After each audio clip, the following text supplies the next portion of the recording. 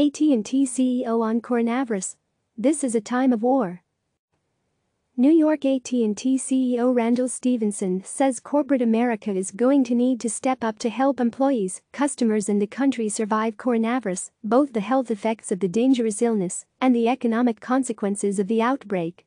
A lot of the business leaders, and myself, particularly, we're looking at this as a time of war, Stephenson told CNN's Brian Stelter on Reliable Sources Sunday. This is like World War II. And everybody needs to step up and do their part in terms of how we help the general population and the general public.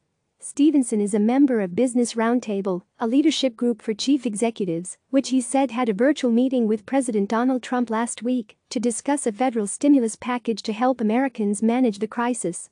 He said the country needs a big and bold plan to help the country's consumers and small businesses we think that's what's going to be required to keep the economy at some level of stability, particularly if we come out of this, Stephenson said.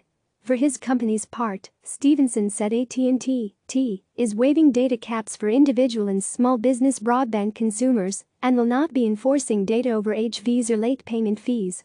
AT&T is the parent company of WarnerMedia, owner of CNN.